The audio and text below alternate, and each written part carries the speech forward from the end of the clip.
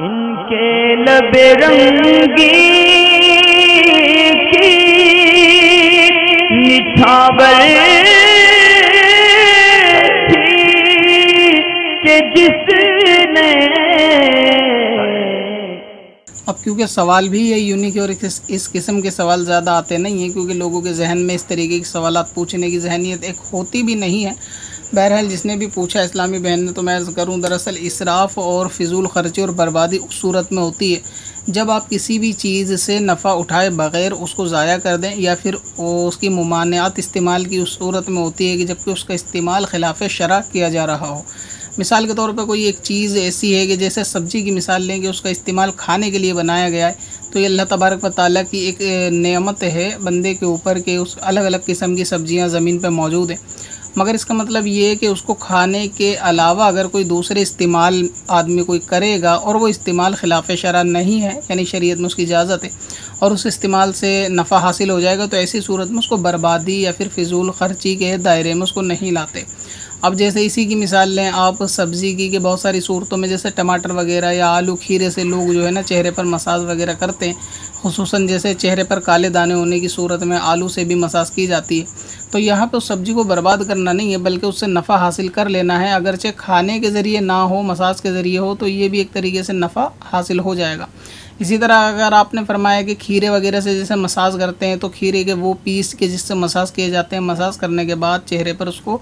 जो है फेंक दिया जाता है, इस्तेमाल नहीं किया जाता है तो ये फेंकने से पहले इसका इस्तेमाल हो गया, लिहाजा इसकी भी इजाज़त होगी कि अगर ये ज़्यादा तादाद में ना हो तो अगर कोई महीने पंद्रह दस दिन में इस तरीके का मामला करेगा तो ये खिलाफ शरा नहीं होगा, यानी इसमें गुनाह का काम नहीं होगा कि इसका इस्तेमाल करने से आदमी को नफ़ा हासिल हो गया।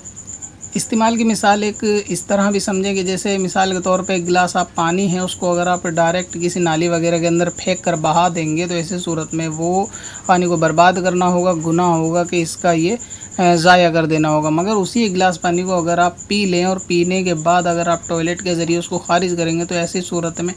यानी काम बिल्कुल वही है, लेकिन वहाँ पानी से नफ़ा हासिल कर लिया गया होता है। नफ़ा हासिल करने के बाद उसको बहाया जाता है तो ऐसी सूरत में दोनों के अहकाम जुदा होते हैं, यानी उस सूरत में वो गुनाह का काम नहीं होता। लिहाजा ऐसी कि अगर आप पानी को डायरेक्ट एक गिलास फेंक दें, वो एक अलग हुक्म होगा और उसको पी लें और फिर पेशाब के ज़रिए निकालें, उस पानी को तो वो एक अलग हुक्म होगा, वहाँ पर उसका कोई गुनाह का तस्वुर नहीं होता। तो लिहाजा अगर आप सब्ज़ी लें या कोई भी चीज़ लें और इसी तरह उसको फेंक दें तो ऐसी सूरत में वो इसराफ़ और बर्बादी होगी। मगर ये कि उससे अगर मसाज कर ली गई या कोई नफ़ा हासिल कर लिया गया अगर खाने का ना हो, क्योंकि सब्ज़ी एक ऐसी नेमत है कि उसमें दूसरे किस्म के भी विटामिन होते हैं, दवाइयों के इस्तेमाल में, दूसरी चीज़ों में भी अगर खाने के अलावा लाया जाए तो उसके लाने की इजाज़त होती है। तो इस सूरत में अगर आप उसको इस्तेमाल करेंगे तो उसके अंदर कोई हरज नहीं होगा। अब जैसे टमाटर के बारे में आपने फरमाया कि इसको कोहनी वगैरह के मलने के ताल्लुक से कि अगर इसको बर्बादी है या नहीं, इसमें कोई बर्बादी वाली बात नहीं है। आप चाहें तो इसको इस्तेमाल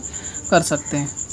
वैसे तो इस्लामिक चैनल है, अगर कोई इस पर एक चीज़ किसी को पर्टिकुलर शख्स को बता भी जाए तो फिर लोग उसके अंदर कमेंट्स करके उसमें बार बार बार बार दूसरी टिप्स मालूम करने की कोशिश करेंगे, लेकिन फिर भी बात निकली तो मैं आपसे एक चीज़ अर्ज़ कर दूँ। जैसे टमाटर का इस्तेमाल होता है ना, कोनी वगैरह के ऊपर, इसके इस्तेमाल से कोई ज़्यादा ख़ास नफ़ा भी नहीं होगा, और इसकी तादाद और वक्त भी बहुत ज़्यादा लगेगा। कोहनियों के लिए सबसे बेहतरीन चीज़ ये है कि आप एक नींबू लेके उसके रस को निचोड़ लें, यानी खाली नींबू का बक्कल लें, और उसके अंदर चंद दाने चीनी के डालकर नींबू के उस खाली बक्कल में, और उसको आपस में नींबू को यानी रगड़ के, उस बक्कल को, उसमें चीनी आपस में घोल लें, फिर उससे अगर कोहनी की मसाज करी जाएगी तो इन ताला उसके अंदर फ़ायदा, टमाटर के मुकाबले दस गुना ज़्यादा भी होगा और जल्दी भी होगा। तो आप इस चीज़ से करें और बाकी लोग जो है ना इस तरह कोई टिप्स इसमें ब्यूटी ना पूछे क्योंकि ये कोई ब्यूटी चैनल नहीं है और ना ये कोई पार्लर का चैनल है इस्लामिक चैनल है। मगर टमाटर की बात निकली तो तो मैंने उससे बताया कि इसमें ज़्यादा टमाटर और सालों तक खर्च होंगे और कोई इसमें कोहनी के जो निशान होते हैं काले उससे फ़ायदा नहीं होगा जो ये नींबू के बक्कल में चीनी घोल के लगाने से जल्दी हो जाएगा। पत्थर में हसन पुरनवार।